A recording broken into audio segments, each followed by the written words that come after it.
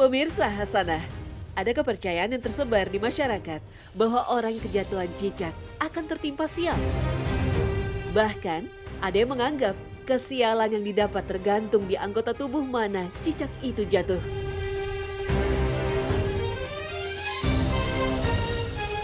Misalnya, jika cicak jatuh di kepala, maka pertanda rezekinya akan seret. Atau bisa jadi dia akan kehilangan salah satu anggota keluarganya. Atau bisa juga akan jatuh sakit. Sementara, jika cicak jatuh di kaki, sering dianggap akan mendapat kesialan dan musibah di perjalanan.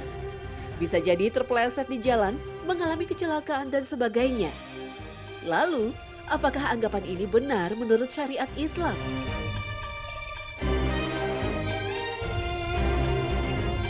Mitos kejatuhan cicak ini memang cukup populer.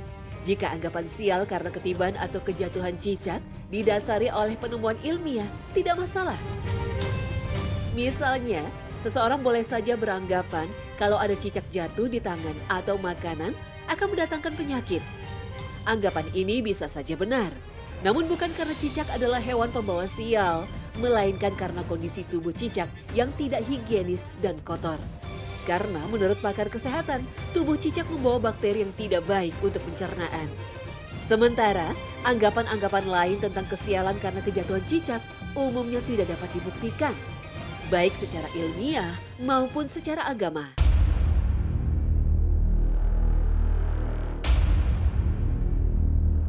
Dalam agama Islam, mitos-mitos semacam ini masuk dalam kategori tatoyur, yaitu menganggap sesuatu akan membawa sial pada seseorang tanpa adanya dalil maupun bukti ilmiah. Para ulama telah menegaskan bahwa tatoyur dilarang dalam Islam, bahkan termasuk bentuk kesyirikan yang bisa menghilangkan kesempurnaan tauhid seseorang. Sebagaimana hadis dari Abdullah bin Mas'ud radhiyallahu anhu bahwa Rasulullah shallallahu alaihi wasallam bersabda, "Tiaroh itu syirik, tiaroh itu syirik, tiaroh itu syirik." Dan setiap orang pasti pernah terlintas dalam hatinya sesuatu dari hal ini. Hanya saja Allah menghilangkannya dengan tawakal kepadanya. Hadis riwayat Abu Daud dan Tirmizi.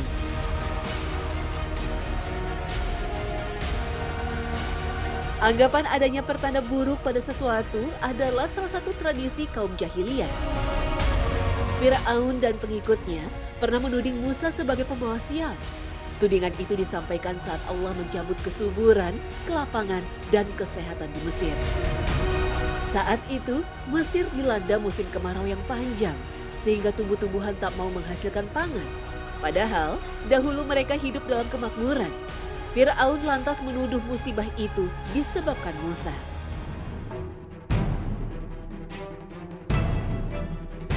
Selain itu, masyarakat Mekah juga menganggap datangnya burung hantu sebagai penanda sial. Sebagian orang berkeyakinan kalau rumahnya didatangi burung tersebut, ada salah seorang dari penghuninya yang akan wafat. Dan contoh-contoh lain yang serupa. Namun setelah Islam datang, tradisi ini dihapuskan. Lalu, apakah beranggapan sial sama sekali tidak diperbolehkan?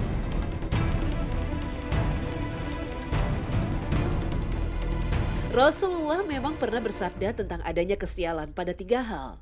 Beliau Shallallahu Alaihi Wasallam bersabda, terdapat kesialan pada tiga hal: kuda kendaraan, perempuan istri, dan rumah. Mutafakun alaih.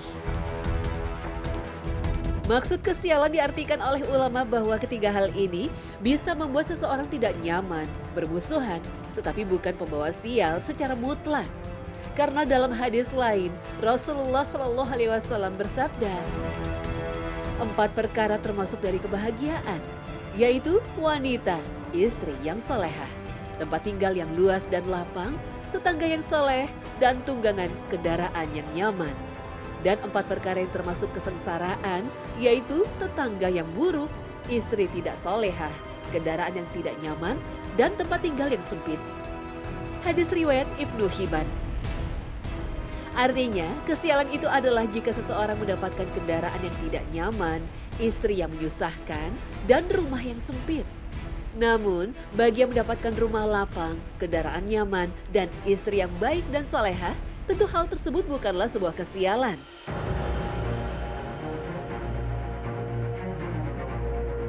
Dengan kata lain, anggapan sial tidak dibenarkan jika disematkan pada sesuatu secara mutlak. Cicak tidak bisa dianggap sebagai hewan pembawa sial. Begitupun orang, hewan, atau benda lainnya. Kalaupun benar terjadi musibah setelah kejatuhan cicak, maka itu atas kehendak Allah, bukan karena si cicak. Cicak hanyalah makhluk biasa yang tidak punya kuasa apa pun untuk menurunkan musibah pada sesama makhluk. Bahkan cicak yang jatuh dari dinding pun terjadi atas kehendak Allah. Rasul Shallallahu Alaihi Wasallam bersabda, tidak ada penyakit yang menular dengan sendirinya, tidak ada keyakinan sial karena sebab tertentu, tidak ada keyakinan tentang burung hantu, dan tidak ada kesialan bulan safar. Hadis riwayat Bukhari dan Muslim. Allah Subhanahu wa taala juga berfirman, Katakanlah, tidak ada seseorang pun di langit dan di bumi yang mengetahui hal goib kecuali Allah. Al-Quran Surah An-Naml ayat 65. Wallahu a'lam bisawab.